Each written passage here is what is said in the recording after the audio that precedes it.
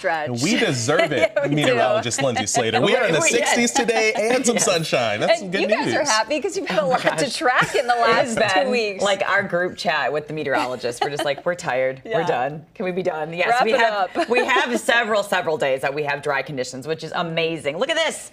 Inside or outside, you got Three days in a row of consistent sunshine, beautiful weather, a little bit cooler near the lakefront for the next three days, but we will see the return of 70s as we get closer to Friday and Saturday. Saturday at this point, I'm putting just iffy because there is a minor rain chance, but it even it has been trending drier, which is really nice. I'm gonna show you that in a minute. Here's the radar.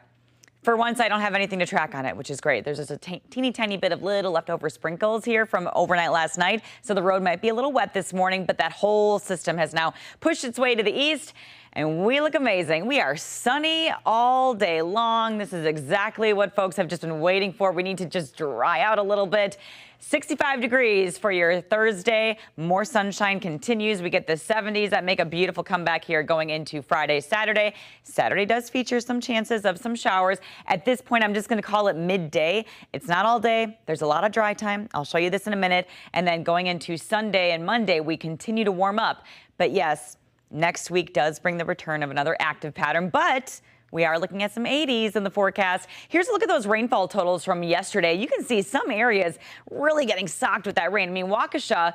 0.14 inches of rain versus not that far away, Milwaukee actually broke a record for daily rainfall uh, that was actually set back in the 60s. But I do want to show you the river levels. These are just the ones that were impacted by some of that rain yesterday. And you can see the Rock River there at 10.2 feet at minor flood stage. This is going to be peaking during the day or the next couple of days and then slowly dropping as we stay rain free for a while. We have rain free conditions today, tomorrow, and the next day. For Saturday, there's a very slight rain chance, like I said, by midday, but there will be plenty of dry time to enjoy. Just stay tuned to Weather Watch 12 for the specifics on that timing.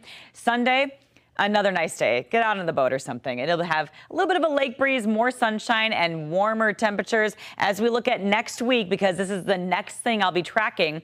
This is going to be happening Monday, potentially Tuesday, also into Wednesday. It's another active setup for us that does kick off on Monday. I'm expecting those temperatures in the 80s. As far as any kind of severe threat, we're still kind of waiting to learn more about the storm track and timing. Those are some of the things that make it very dependent. So we can't really say, yes, we have a chance of severe weather because we still have a couple other systems to get through before that. But nonetheless, it is something that we are actively watching. For now, it is gorgeous outside of Milwaukee, 55 degrees. The clouds are getting out of here. Temperatures in those low 60s today with that lake breeze kicking in.